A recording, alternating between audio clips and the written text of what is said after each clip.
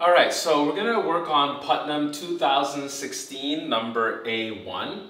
And it says, find the smallest positive integer j such that for any polynomial p of x with integer coefficients and any positive integer k, when we plug in k into the jth derivative of the polynomial, that expression is divisible by 2016. Okay, so there are a lot of moving parts here. Um, we have this, this smallest positive integer so that when we differentiate, no matter what polynomial we're looking at, no matter what integer we plug into it, the jth derivative evaluated at that polynomial is going to be divisible by this number 2016. Um, so we're considering divisibility by 2016, so should we, we should know the prime factorization in 2016.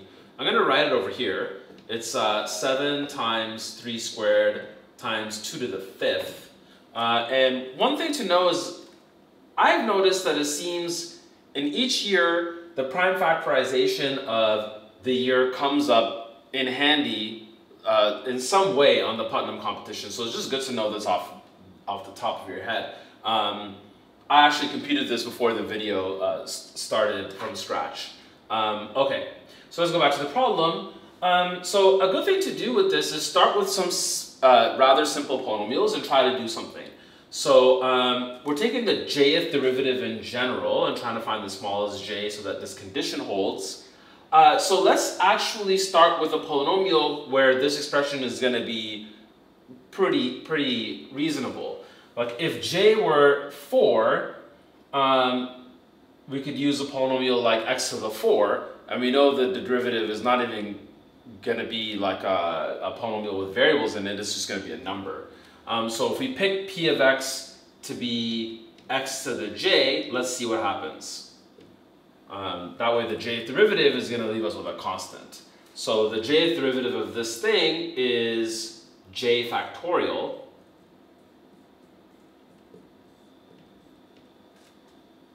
Um, and so the question is, this is one function that has to satisfy this condition. So this will give us a restriction on, on um, what j has to be. This j factorial needs to be divisible by 2016. And the factors of that are right here. So we first notice immediately that j has to be at least 7 because 7 doesn't appear as a factor of j factorial until j is at least 7 because 7 is prime. So j is definitely going to be at least 7. Um, if j were 7, then we'd have 7 j factorial being 7 times 6 times 5 times 4 times 3 times 2. Um, let's see if this has enough copies of 3 and uh, 2 for 2016 to divide it. Um, so we do have two copies of 3, of a 3 here and a 3 and 6. Um, now let's look at 2. We have a 2 here, two factors of 2 here, and 1 here for a total of 4. So it's not enough. We need to increase by one more. Um, if we make j equal to 8, we'll be, we'll be good. So from this, j has to at least be 8 in order for this one function to work. Um, so let's look at a generic polynomial and see what happens when we uh, take its jth derivative and see if this 8 is going to be enough. If it is, then we're happy. It's the smallest positive integer that'll work for all our, our functions. Um, so let's go ahead and do that. Um, so say our polynomial is some generic thing. So it looks like the sum m equals 0 to n of x, well we need a coefficient, um, a sub m times x to the m, where these a m's are integers. If we take the jth derivative, which is 8 in this case, that's the thing we're testing, the eighth derivative will get rid of the powers up to x to the 7, we'll be left with the sum m equals 8 to n of something like m times m minus 1 up to m minus 7, so we're differentiating 8 times, times a sub m times x to the m minus 8. And we're evaluating this as some random positive integer k, So our expression will look like something like this. And we're curious whether or not this is enough, uh, meaning, so this j is 8, uh, meaning that uh, this expression is divisible by 2016.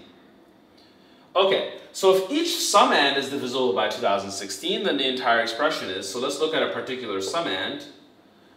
We notice that the summand has the product of eight consecutive integers written here. Right, so as a consequence, 8 factorial will actually divide this piece of the expression. Right, because we have a multiple, um, this is 8 consecutive integers, so we'll have a multiple of 8, 7, a multiple of 7 because there's, there's some multiple sevens somewhere in this list, etc. Okay, um, so 8 factorial divides this expression here, which means it divides this summand, which means 8 factorial divides this entire sum, right? And 8 factorial has 2016 as a factor. So overall, um, it looks like we're forced to have j be at least 8, from earlier by looking at x to the j. Um, and now, when j is 8, the eighth derivative of any polynomial evaluated in any integer is going to be divisible by a factorial and hence divisible by 2016.